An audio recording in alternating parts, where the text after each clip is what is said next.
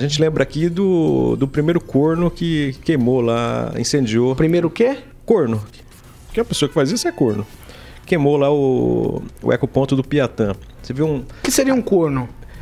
É no caso do incêndio, porque tem vários tipos de corno. Deixa ele jeito. explicar, Clóvis. Não, mas para, É o- para também de me cortar. É o corno trouxa, né? Corno trouxa. entendi. Porque aí ele é do- aquele tipo de que chega chega na casa dele, pega a mulher no sofá com outro, aí ele vende o sofá, né?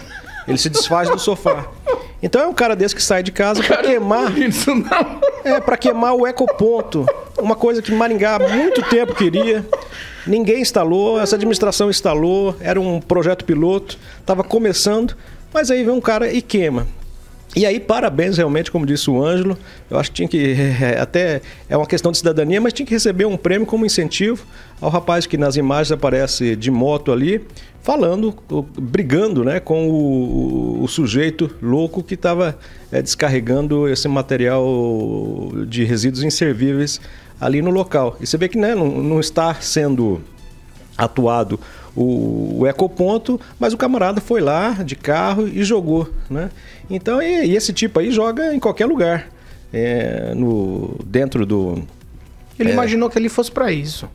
Não mas, não, mas não do lado de fora, né? E todo mundo sabe que ali está fechado, né? Por enquanto, até que...